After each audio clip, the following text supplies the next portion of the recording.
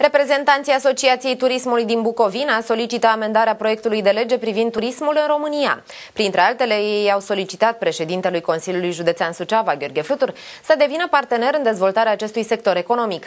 Ei cer de asemenea să fie consultați când sunt stabilite prioritățile în activitatea de modernizare a infrastructurii rutiere. De asemenea, operatorii din turism doresc ca activitatea de control să fie descentralizată, a anunțat la Bucovina TV în emisiunea Raportul de seară șeful administrației județene.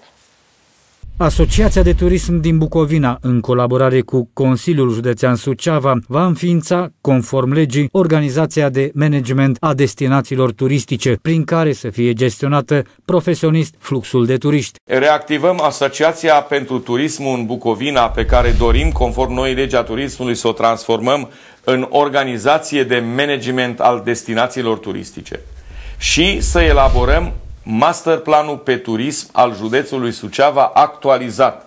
Noi avem un plan de dezvoltare a turismului, dar s-au schimbat multe lucruri de atunci și apar chestiuni noi. Președintele Flutur a prezentat câteva din amendamentele făcute la proiectul de lege privind activitatea turistică. El a propus ca la mijlocul lunii septembrie operatorii din turism să solicite o întâlnire cu parlamentarii suceveni. Așa cum e legea actuală, ă, controlul rămas la minister și partea de autorizare și de implementare vine la consiliile județene. Ce spun asociațiile de turism? Nu o să poată ministerul să facă control cu 10 oameni pe toată țara. Să lasă control și la administrațiile locale. Pentru că acest control trebuie să fie constructiv, dar trebuie să combată evaziunea fiscală, trebuie să întărească disciplina în serviciile publice pentru populație și ei au cerut acest lucru. Ce? Definirea mai clară a agroturismului și diferențierea față de turismul de hotel de 4-5 stele.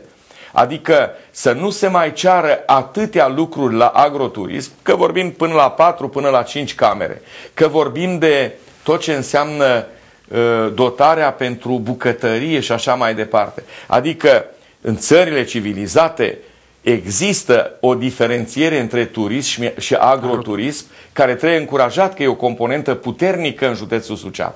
A treia propunere. Stațiunile balneare au fost prezenți astăzi aici și au cerut certificarea și omologarea stațiunilor. Pentru că, spun unii, există care fac într-un apartament, acum uh, uh, turism balnear și există stațiuni consacrate. Trebuie să existe regulament și reglementări care lipsesc de ani de zile, nu sunt, pentru omologarea și certificarea stațiunilor balneare. Agențiile mici, detailiștii care vând bilete, au cerut tot prin lege un sistem de garanție. Cine plătește eșecurile și siguranța clientului. Asta va trebui clarificată mai bine în legea turismului, că nu-i clarificat și s-au făcut propuneri concrete. Apoi, există legislație națională foarte rigidă care afectează turismul. De exemplu, într-o pădure comunală sau a unei obști, da. vrei să amenajezi o potecă, ea există, da. nu tai nimic. E o potecă pentru vizitare. În țările civilizate există această flexibilitate, sigur că trebuie avize de mediu să nu agresezi, da. să se întâmple. Atât de dură și de rigidă este legea la noi, încât nu se poate, așa de mari taxele sau interdicțiile, cum e și în parcul Șipote. Da. Tot se întâmplă să mergi prin pădure spre cetate, dar nu ai voie să repar treptele alea. Și nu e în regulă, e prea rigid. Sau pe legea apelor. Sau pe legea construcțiilor.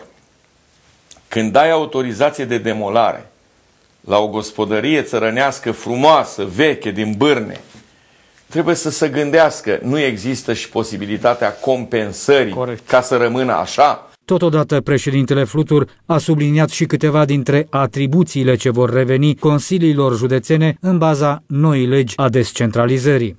Partea de turism, tot ce înseamnă emiterea de brevete, tot ce înseamnă atestare de ghizi, omologare de pârtii de schi, autorizarea uh, de investiții în domeniul agrementului și turismului vor fi făcute conform noii legi a descentralizării de consiliile județene. Dar noi nu vrem să facem o nouă centralizare la județ, ci prin asociațiile de turism, împreună cu ei, să facem aceste lucruri, să ne consultăm. Președintele Flutur a punctat faptul că turismul rămâne o ramură foarte importantă a economiei județului Suceava, motiv pentru care oamenii de afaceri din sistem trebuie să fie tratați de autorități ca atare. Aceștia trebuie să devină o voce și chiar vor fi consultați când vor fi stabilite prioritățile în activitatea de modernizare a infrastructurii rutiere naționale și județene.